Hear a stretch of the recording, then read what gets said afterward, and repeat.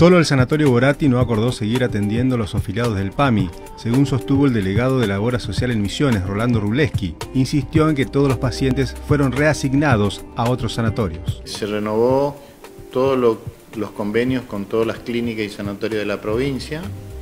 Este, bueno, en el caso particular de un sanatorio, ustedes saben que no se firmó, se reasignaron esos afiliados en los restantes sanatorios de la ciudad que tenemos en la capital. Y bueno, y en la provincia se han renovado todos los convenios eh, existentes, cambiando el sistema de pago de lo que era el primero, primer y segundo nivel.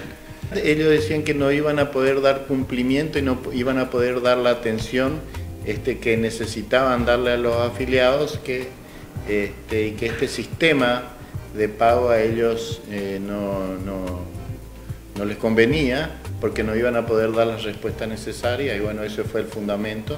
Así que automáticamente salimos a reasignarlo en los tres otros sanatorios que existen en la capital, ¿no es cierto?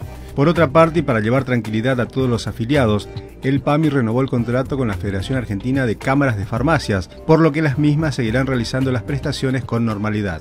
No se iba a poder dejar de dar este, este servicio de de provisión de medicamentos a, un área tan sensible como son los adultos mayores. era casi sabido que se iba a llegar a un acuerdo.